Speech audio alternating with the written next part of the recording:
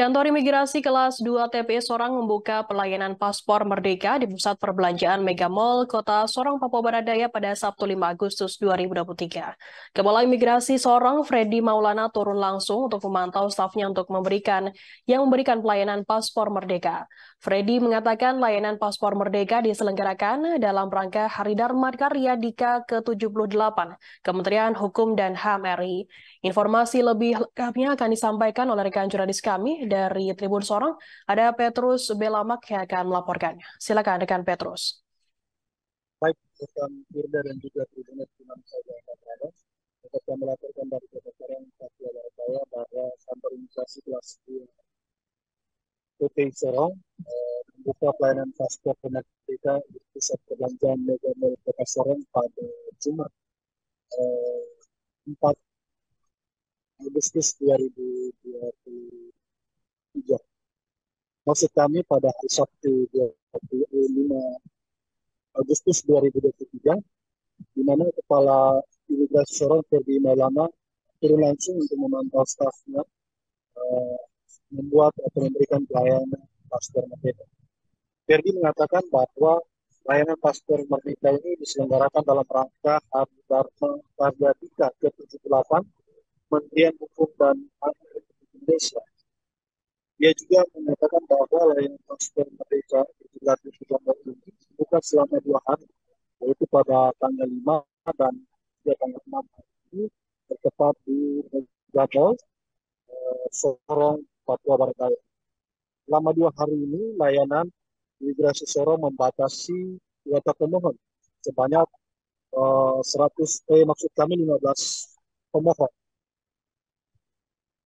Jelaskannya bahwa alasan imigrasi melakukan layanan di mall ini karena memang untuk mempermudah masyarakat Sorong yang tidak melakukan permohonan paspor merdeka di kantor imigrasi Sorong. Selain mempermudah masyarakat kota Sorong, layanan di mall ini juga sekaligus berikan kemudahan kepada masyarakat untuk berbelanja di mall. Nah, sementara itu, salah seorang pemohon eh, bernama Nancy Julita Lolem mengaku layanan uh, paspor merdeka di mall Mega Mall ini cukup cepat dan uh, petugas-petugas yang memberikan pelayanan juga memang sangat uh, ramah dan uh, ramah dalam memberikan pelayanan uh, paspor merdeka. Demikian rekan Firda.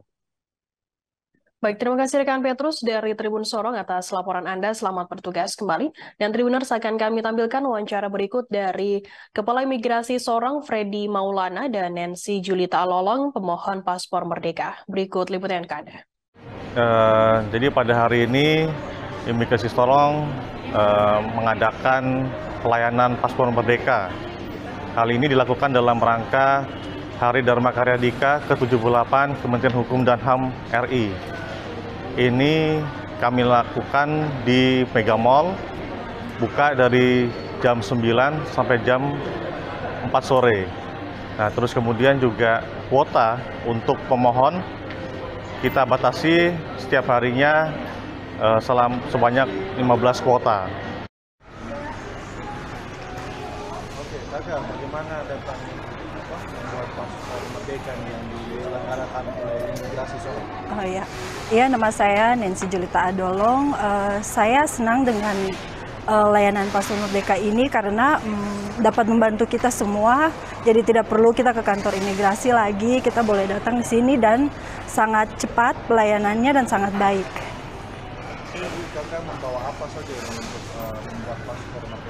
Uh, yang saya bawa tadi uh, KTP yang asli, uh, kartu keluarga yang asli, akte kelahiran yang asli, juga ijazah beserta. Terima kasih sudah nonton.